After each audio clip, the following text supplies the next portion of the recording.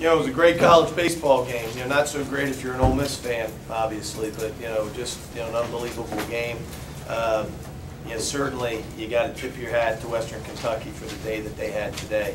Uh, You know, of course, you know, beating a, a very good Missouri team and then coming here and being down nine-three so late, um, you know, with, uh, you know, our ace closer on the mound, and, um, you know, they just uh, wouldn't give in and, uh, you know, continued to rally and, you know, just beat us.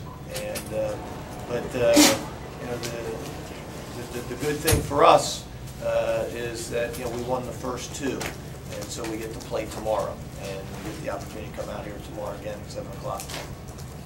Mike, I don't know if you had a chance to even think about what you'll do tomorrow pitching wise, but who, who will be available and which guy are you leaning towards going with? Drew Pomeranz will start, and everybody is available. How long can you anticipate, is Drew gonna be on a pitch count, or is it just how good he As long as he can go and get him out, you know, uh, you know, we, we just want him to get him out in the first inning, and we'll, we'll take it from there.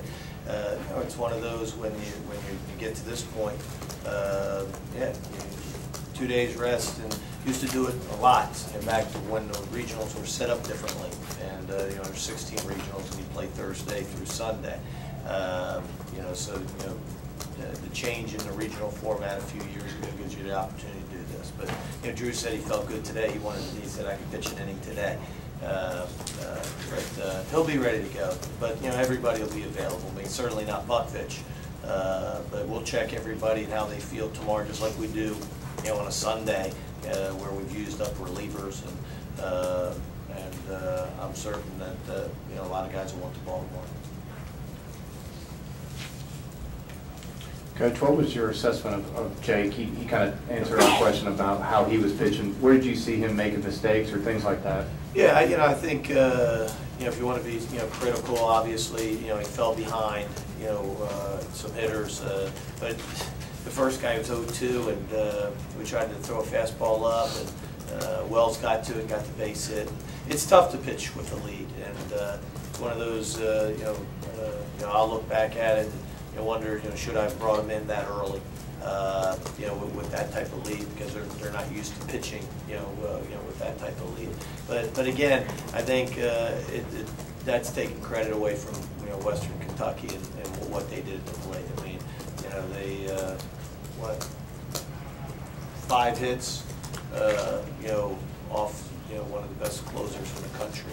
And, uh, so, you know, you gotta, you tip, tip your hat to them. And, you know, I think it was, you know, more what they did and less what Jake did, but, you know, if you wanna be critical, certainly, I think, you know, uh, you know, after the first guy kind of fell behind a little bit, but, I mean, they, they hit the breaking ball, hit the fastball, I mean, uh, uh, they just had a lot of good at-bats. Mike Jordan mentioned the crowd and everything tomorrow, but is a fast start for you guys kind of important maybe to stem the momentum? It- It'd be nice, you know, you always want to get off to a good start, and uh, uh, I see that you're stuck on the momentum thing tonight.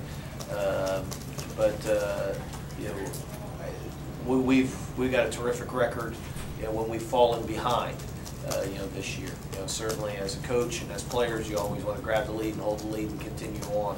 Um, You know, but I, I think, uh, you know, if anything, uh, you learn from tonight that it's not about getting the lead, it's about playing, you know, the entire nine innings. And, uh, you know, that's what happened tonight is, you know, they, you know, we, we played really well for seven innings.